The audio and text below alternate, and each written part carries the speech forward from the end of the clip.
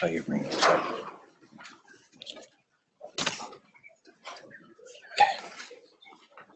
I set up right now? Yeah, go ahead. Our next presenter is Jack Han, Birds of a Feather, implementing analytics at the McGill Martlets hockey program. A digital marketer by trade, Jack worked in web content and social media for the Montreal Canadiens before turning his attention to the coaching and management side of the game. He currently works as a video and statistics coordinator for the McGill Martlet hockey program and writes occasionally about analytics for Habs on Habs Eyes on the Prize. Sorry, um, Jack Han.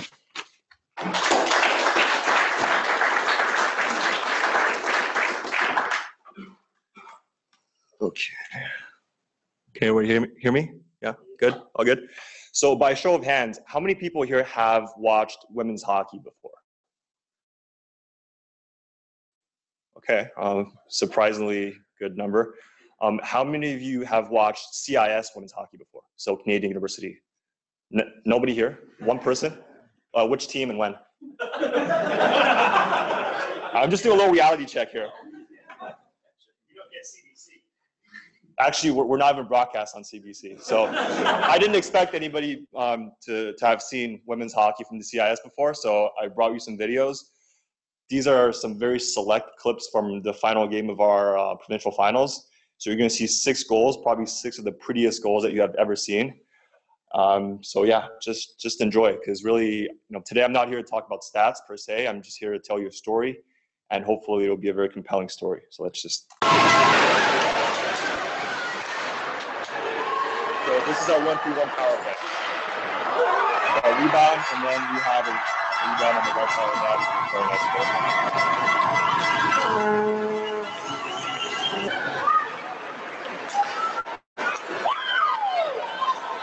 This was a little bit fluky because that pass kind of went to nowhere, but then we get two lucky bounces and then we get the goal.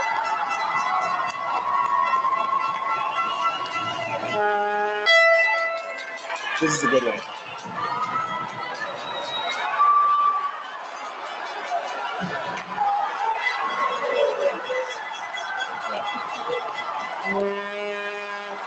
So, she's number 15, Gabrielle Davidson. You guys can call her Superman from now on.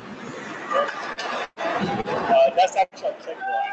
We do a real nice job here getting the puck down low, and then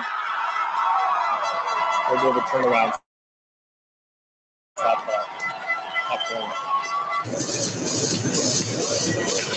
Top and open face off. Let's get a little battle here. Nice open ice. That's Melodie Daoust, so she won gold medal with Team Canada in Sochi.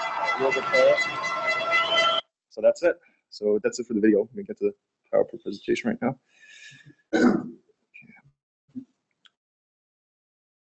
So.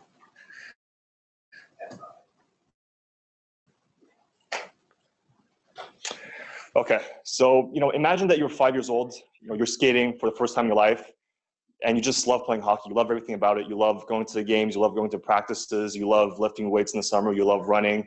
You just want to be the best player that you, you can possibly be. Right? Uh, you're 13. Um, you're playing midget hockey. You're dominating the league. You're putting up three points a game. And the next step for you is, you know, play major junior and then play in NHL and make a bunch of money, right? Now, imagine if you were born with, you know, XX chromosomes instead of XY chromosomes. So you're a girl. You're playing midget hockey, and the next step is, you know, junior and then university, because you're probably not ever going to make money playing this game, even though you might be just as talented, just as hardworking, just as passionate about the game. And really, the story that I want to tell you guys today is the story of a team that's perhaps the greatest hockey team that you've never heard of, that you never watched, and maybe that you'll never watch in person. So I'm talking about the McGill Martlets, um, and this is the story. Um, so this is about me. You can ask me about my experiences afterwards. I'm not going to waste too much time on this, but actually, I want to kind of take this time to talk about my parents a little bit. Um, I have a marketing background. I've never had a formal, you know, I guess computer or statistics or mathematics training beyond Calc 2, which was a few years ago. Um, but both my parents have postgraduate degrees in computer science and computer engineering. And it's kind of the story about how I got into analytics is when they never came to watch my games. So you have this joke about, you know, not watching the game, right? You know, stats guys don't watch the game. Well, my dad is a computer guy and he literally never watched my games. And so I was in high school and one day he came to watch me play. And after a game, he asked me, you know, like, why are you dumping the puck in so often? Because, you know, you work hard to get the puck. So why are you just giving it away? This is the guy who doesn't watch the game right? Um, which you know I thought was very interesting. I had no ideas about any of the fancy stats back then because they just simply didn't exist. That was like more than ten or fifteen years ago. Um, but I think you know I still play hockey on a weekly basis. I don't think I've dumped the puck in you know more than twice every season for the past three years, and I got 64 goals this year. So thanks, Dad. and and actually that's why I'm walking with the cane because um, when a shorthand breakaway, a guy tripped me, went to the boards. So I, have got this for two weeks. So yeah. Uh, meanwhile, my mom, um, she works in business analytics, which is really essentially what I'm doing here. But compared to the work that she does, what I'm doing is really insignificant because she works with such large data sets that I can't even comprehend what it is that she does. You know? Meanwhile, I'm just here playing around with Excel. So that's my parents. It's, I think I've tried my whole life not to do the same things that they do, but you know, here we are. So. Okay, so uh, why analytics? Um, I got into hockey analytics a couple years ago while I was working for the Canadiens because you know I was seeing some things play out on the ice, off the ice, and as somebody with a marketing background for me, it's always been crystal clear that the product is on the ice. So it's you know it's not how many gifts you post on social media, it's not know how often you post on Instagram or Facebook. For me, like the product is on the ice. So if you don't win, then you know why should anybody care, right? So once again, the product is on the ice. And like for me, analytics is useful because first of all, you can understand what's going on and you know perhaps win a few more hockey games. But the second thing is it really lets us appreciate athletes who would otherwise either be overlooked or maybe unfairly given a bad reputation. You know, a guy like Jeff Petry, who's was perhaps public enemy number one in Edmonton, but who's now you know really seen in a completely different light and has since then been traded to Montreal. So good stuff. Right. Um, and the third thing is they bring more people to the game. So perhaps a good number of you here wouldn't even be interested in hockey or spend time watching games and mm. tracking things to this extent if analytics wasn't a thing. Like I know for me for a long time I worked in pro tennis and you know I traveled to cover tennis and I really didn't go on the ice or follow hockey for maybe two or three years and that's really brought back that passion I had for the game which I'm really thankful for. Um, on the picture here you see Olivia Sutter so she's one of our um, forwards and she's the kind of player that you really learn to appreciate when you look at the underlying numbers because you know she doesn't score a ton of goals even though when she does score like on this one it's, it's always a beauty so that's great. But you see you know the kind of minute that she plays and the kind of possession stats that she puts up and you know she's a great teammate because she takes on those tough minutes so that her teammates can thrive. And that's really i think something that we can identify and really enjoy and you know really be thankful that we have her on the team even though she scores maybe you know three goals a year so uh, why McGill Martlets? I did my undergrad at McGill. Uh, a lot of my friends played on the hockey team, so I always knew of Peter Smith.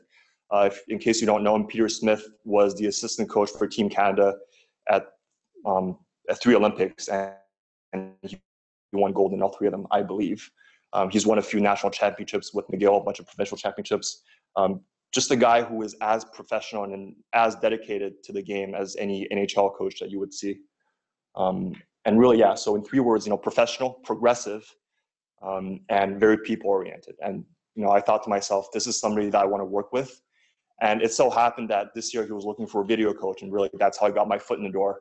Um, you know, in a nutshell, I help Peter do computer things because he is of a certain age and he doesn't have that natural affinity for computer things as perhaps other people. Um, the game. So the women's game is very interesting, you know, in and of itself, but also as a way to find new insights for NHL teams. You know, if you appreciate possession hockey, the women's team is as close to platonic ideal to possession hockey as you're going to get. At the high level, you have some body contact along the boards, but there's no hitting, there's no fighting, there are no goons, there's no instigating, although girls sometimes do get a little bit heated, which is fun to see. Um, so you don't have that any extracurricular, you know, BS that happens in, in a men's game occasionally. So I, I think it's a really interesting proving ground to explore theory. And I really enjoy the fact that I'm working at McGill because, you know, as a university, you're an institution that's promoting learning and, um, you know, higher education, and you know that you're you're not here to make a quick buck. You're here to set up these young people to succeed later in life, whatever that they choose to do. So I think you know analytics really fits into that mission. Um, so so yeah, I mean you know I don't care that you know none of these players are going to be playing professionally after, at least in the NHL. But I really do want them to succeed while they're here and succeed when they've left a little bit about our team this year. So we won our provincial championships and we lost in the national finals. So we finished runner up. In that game, we lost five nothing, and we outshot the other team 38 to 15. So it happens. You know, it sucks. Um, people cried after the game. I cried after the game.